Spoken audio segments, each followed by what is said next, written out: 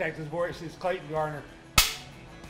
And action. Country singer-songwriter Clayton Gardner joins us at the Dixie Chicken, a place that's special for many reasons. So I have two favorite places in the world to drink a beer. It's the Dixie Chicken in Luckenbach, Texas. The Aggie artist tells us all about new music and his favorite role, Daddy. Plus, world-renowned artist Benjamin Knox reveals his new collection. These are memories. Every art piece is an inspirational memory. And we catch up with the creators of the one and only Aggie Ring. Texas Voices highlights the artists, musicians, and creatives of our great state. Next.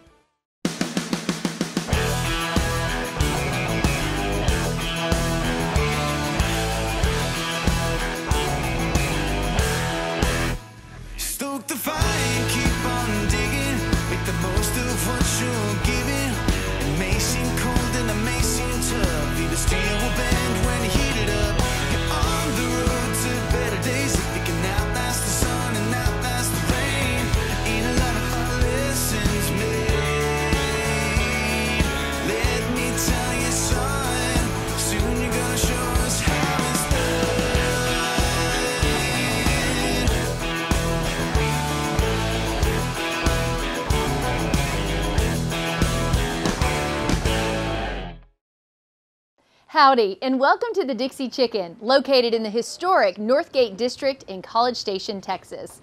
I'm Lindsay Lippman.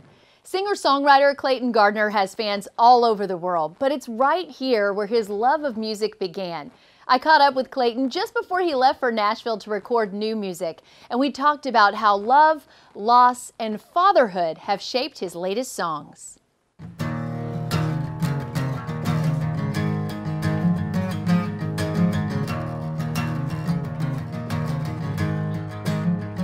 I'm a little bit country, but I like the city. What does it mean to you to be a part of the Aggie community and, and what goes on here? It's very special here, I think. It is, you know, the Aggie community embraces its own kind, and it definitely did that for me musically from the start right down the street uh, here on Northgate to my days at Harry's and the Chicken and all these places. And it's just really special, and it, I can go to like Fort Worth or Austin, and there's still Aggies everywhere that come to see me, so it's, it's, a, it's a huge family, as you know.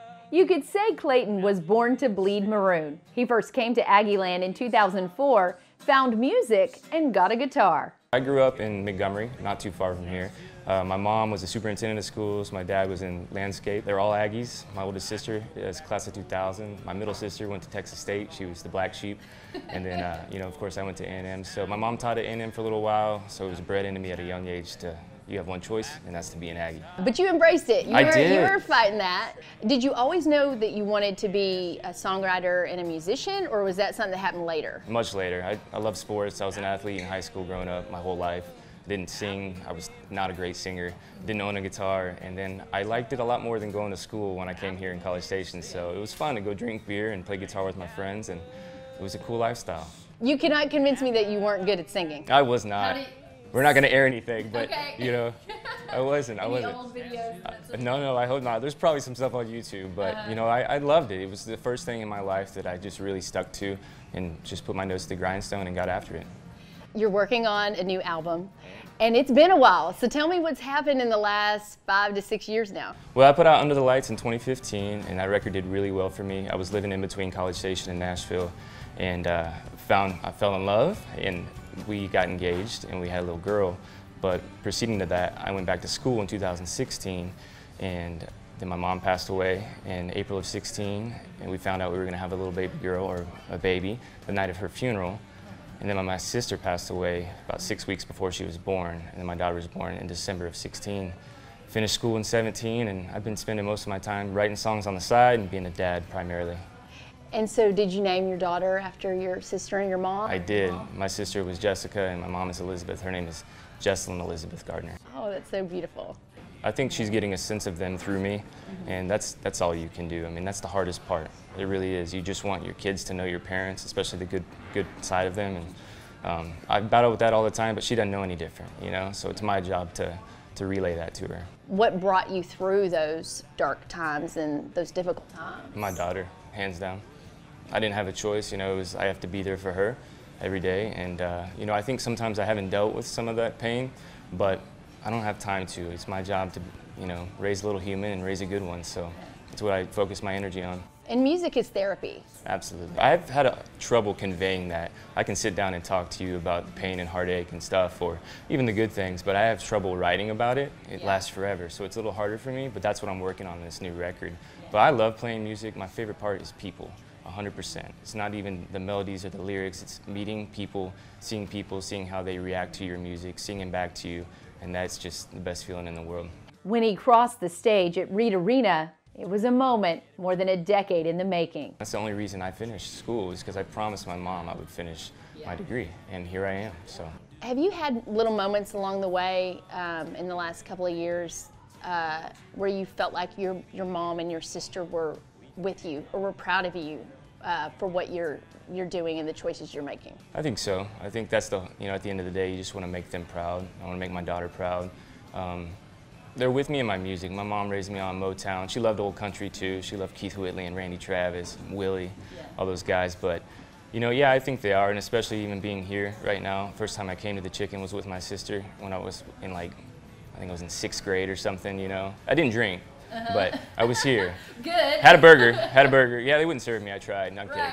Um, We've all tried. well, I mean, this was my favorite place. I have two favorite places in the world to drink a beer. It's the Dixie Chicken in Luckenbach, Texas. And they've both been second homes to me. Uh, you know, I, I've known everybody affiliated with those venues for years, and they will always be my favorite places to drink a beer and play music. Clayton, we agree. Coming up, he'll perform Don't Miss It. But first, you have to catch tonight's Texas Voices artist. He used to paint a picture for a pitcher right here at the Dixie Chicken. Hear why Benjamin Knox says he's just getting started.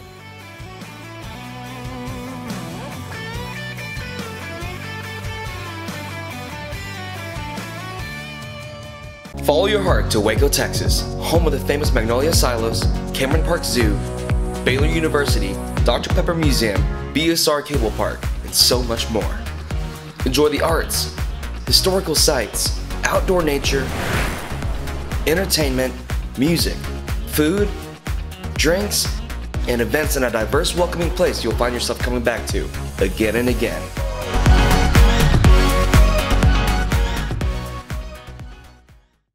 Welcome back to the Dixie Chicken.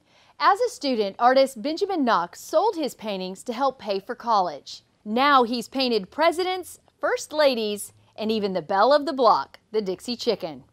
But the world renowned artist says he's only just scratched the surface.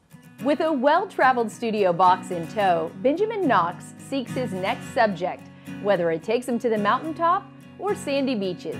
These are memories. Every art piece is an inspirational memory. His passion for painting bubbled to the surface early, selling his first work of art in the first grade. I grew up outside of Lubbock, Texas, in the plains uh, towards Brownfield, and we had a horse ranch, but I always loved to draw and create. It was nonstop. I was even making movies with 8 millimeter cameras. So I was kind of this enigma of this force of creativity and energy. And that's why I believe very strongly that that type of creativity and energy, it's almost like it, it moves in the clouds and then it touches certain people.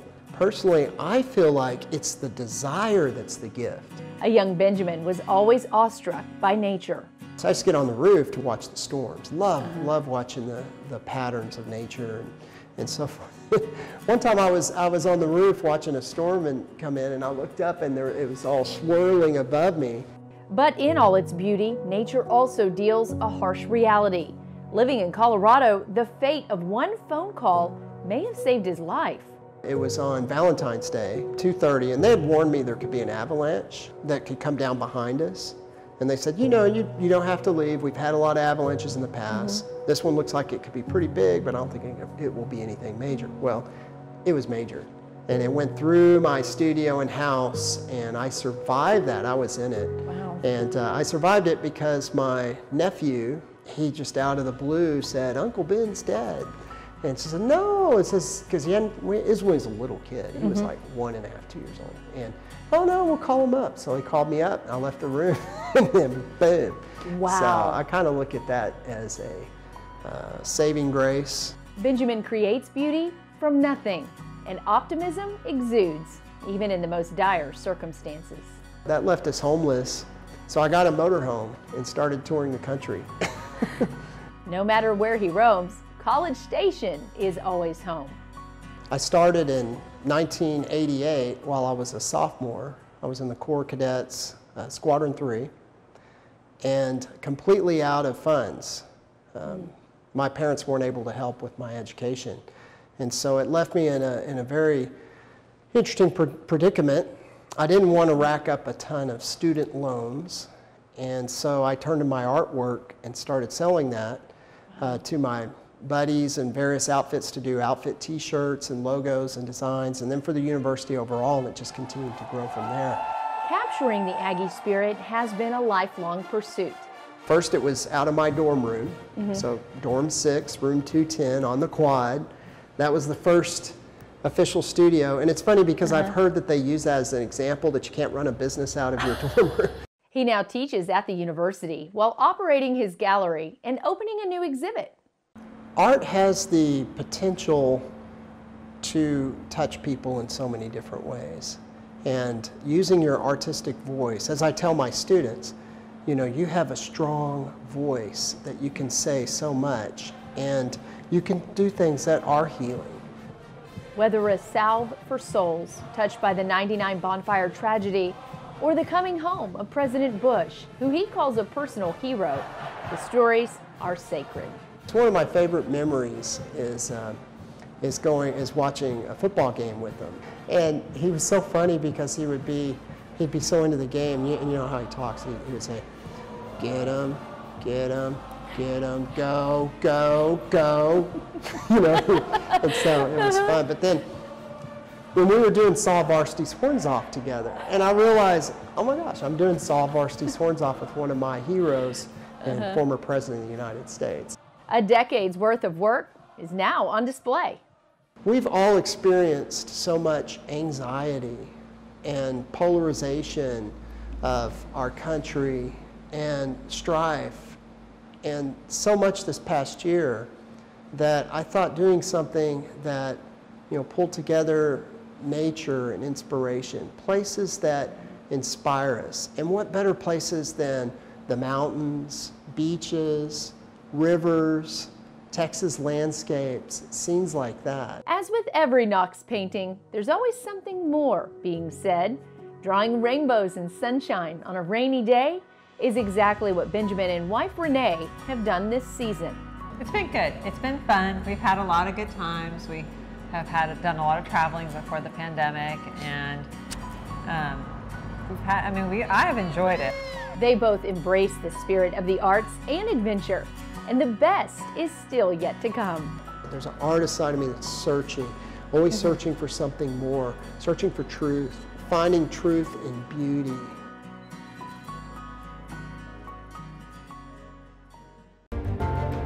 People are choosing the Brazos Valley to launch, grow, and locate their companies every single day. But in the Brazos Valley, our most valuable asset is talent.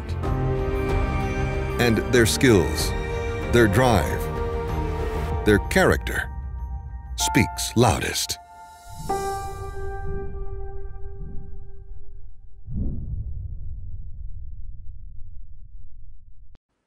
Benjamin Knox draws it and thousands of Aggies wear it. Let's go to the Balfour factory where they create the iconic Aggie ring. Catherine Greenway doesn't remember a time that the Aggie ring wasn't a part of her life. Her father and grandfather are both Aggies, and she earned her ring in 1987. You know, it was certainly an exciting time because it's something you've worked hard for.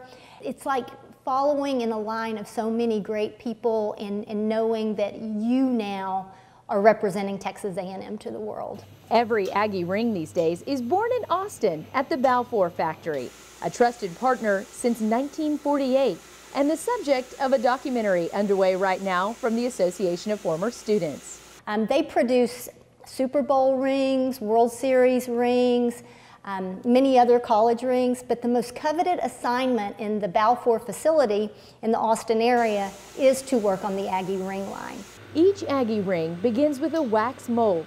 They're assembled on a tree that's dipped in plaster and it bakes overnight. Once it's cured, the tree of rings is dipped in gold. And from there, the real work begins, and each ring is personally tended to, and the detail on the ring will be enhanced, the ring will be polished, um, the engraving will be added to the ring, and for those who choose to have their ring antiqued, the antiquing will be added to that. But there's a lot of, of hand craftsmanship that goes into it. And so, you know, each ring really is individually made and even though the ring is the same design, there is something unique about each ring because of the hand craftsmanship. But ever since 1930, the design became uniform, making it recognizable even a world away. Do you have a favorite Aggie ring story um, that's kind of come across your radar? You know, I do have a favorite Aggie ring story. Um, there are so many that are so meaningful in so many ways, but this one is one that I think just, it covers so many aspects of the ring. And the ring starts with Turney Leonard, class of 1942. Turney Leonard died on a battlefield in Germany in World War II. He was awarded the Congressional Medal of Honor for his actions in World War II, and his ring was lost on that battlefield near the Hurtgen Forest in Germany. Um, at the conclusion of the war, a German teenager found the ring, and he kept that ring for decades. And so decades later, he is having a conversation with his son-in-law, who is an officer in the German army, and this was about in the year 2000. And as they talked, um, his son-in-law, Volker, said, well, you know, there's somebody who would want that ring back. We need to return that ring. So they reached out to the U.S. Army and immediately recognized it as an Aggie ring. Volker was flown to the U.S. and on a beautiful crisp fall day in Kyle Field, he presented that ring back to the Leonard family. The Leonard family then presented the ring to Texas A&M and it's now housed in the Corps of Cadets Center um, along with Turney Leonard's Medal of Honor. And I always tell people that's a beautiful story, but it doesn't end there. That's the best part of that. So as a result of Volker's trip to the U.S., he became friends with a group of Aggies, a group of former students. And over the course of several years, these former students would visit Germany. Volker and his family would visit the States, and a beautiful friendship developed out of this. And these men said to Volker, we want your sons to be Texas Aggies. And so they helped to pay for the education of Volker's two sons, who are classes of 16 and classes of 20. And so, so these two Aggies from Germany now have their own Aggie ring. And I think it's just such a beautiful connection of the past, the future. Um, you know, it, it touches on the service of Aggies to the military, how Aggies have fought for freedom and how now the Aggie Network is truly a global and international phenomenon. In the Aggie Ring Collection at the Association of Former Students, a story for every ring worn and symbolism that dates back more than a century. On the sides, you have the star, which symbolizes the state of Texas, the, the state seal. Um, you also have on the star, you have oak leaves and laurel leaves. And these symbolize a desire for peace, but the strength to fight. And these are, are joined together with a ribbon, which symbolizes the necessity of both of these traits. The state and U.S. flags, a rifle, cannon, and saber that symbolizes that Texans fought for their independence and land. All of these things together, you know, remind us of the history of the ring and also um, what we represent when we wear this ring. Stay tuned for Dixie Chicken Stories and a special performance from Clayton Gardner you don't want to miss.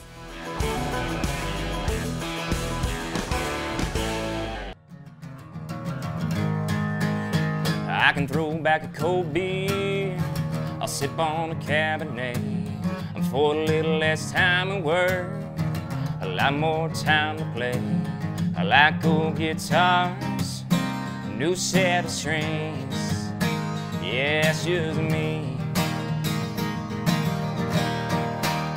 Well, I believe in love, I believe in praying. When things get tough, I've been staying. staying, really ain't got much, and I got all I need. Don't really care what you think, cause that's just me.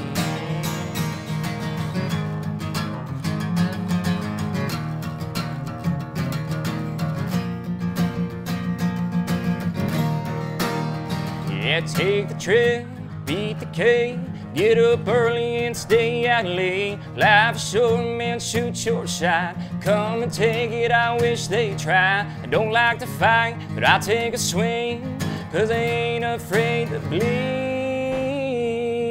Ain't never gonna change. I'm too stuck in my ways, but I don't give a damn, cause that's just me. Yeah, I don't give a damn, cause that's just me.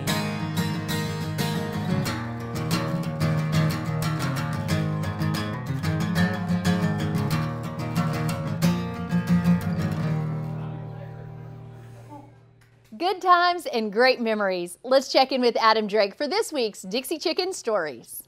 Howdy. Thanks, Lindsay. You know, Dixie Chicken Stories are something that's just been going on since 1974. I'm glad to have my buddy here, Clayton Gardner, because he's we we've shared a few stories back here at the Dixie Chicken, but man, there's one I really want to ask you about specifically, and, and I, I know it's it, it can be a little hard for people to bring this up, but you know, it did come across my Facebook memories just a while back. You playing the back porch of the Dixie Chicken, and your mom and your sister, basically your whole family, just out here hanging out. Man, tell us a little bit about that. Yeah, we were doing a, a sorority event called Run to the Chicken. It was in 2016, and my whole family, I can still picture it. They were right back there by the statue, Yeah. watched the whole show. And it was important to me because I grew up in Aggie, and uh, you know, the Dixie Chicken was revered and still is, and it was really awesome. My big sister was kind of like my mom, so I wanted to make her proud, and she was so happy that I was playing the Dixie Chicken that day. And she's the one that you were here with when you were sixth grade, seventh grade, Mm-hmm. hanging out, thinking, "Oh man, look how cool I am hanging out at the Dixie Chicken." Yep. And so that was one of those things. I, remember you looking out and saying, "Man, that's that's really fun to be a part of." Absolutely, man. The chicken has been a, you know, a huge place in my family. But regardless of where I travel and where I go, people were like, "Oh, you're an Aggie? You ever been to the chicken?" I'm like, "Yes, of course I've been to the chicken. I'm an Aggie." You know? You know, a lot of Aggies have stories of the Dixie Chicken. A lot of non-Aggies have stories of the Dixie Chicken. And you know, I'm glad that you were able to share one of yours, my friend. So Yes, sir. cheers to you. Cheers to Dixie Chicken Cheers. stories. Thanks for joining us on Texas Voices. Connect with us on social media and at texasvoicesshow.com. Now let's hear one more song from Clayton Gardner. We'll see you next week.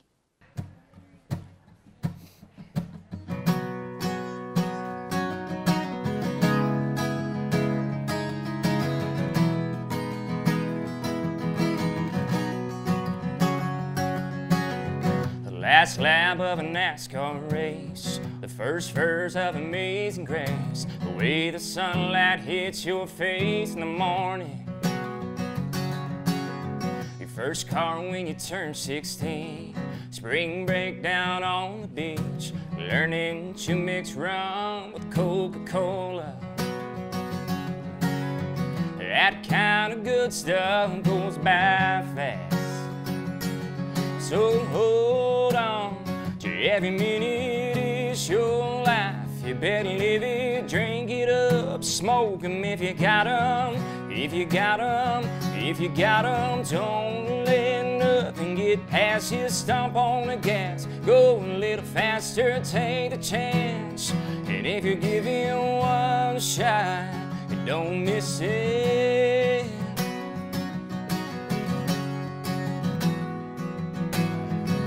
Encore at a Garth Brooks show. Hold her tight as the thunder rolls. She's the one, don't you let her go for nothing. Call your mama every chance you have. Make a little time to fish for dad. Make damn sure you tell them that you love them.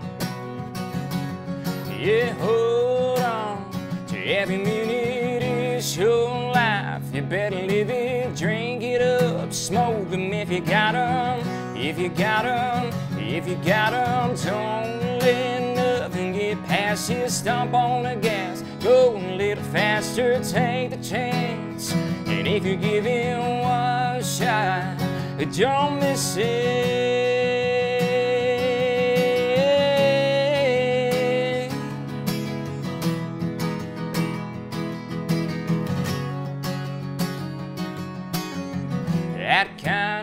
Stuff goes by fast. So hold on to every minute is your life. You better live it, drink it up, smoke 'em if you got 'em. If you got 'em, oh, don't let nothing get past you. Stomp on the gas, go a little faster, take the chance. And if you give it one shot, don't miss it.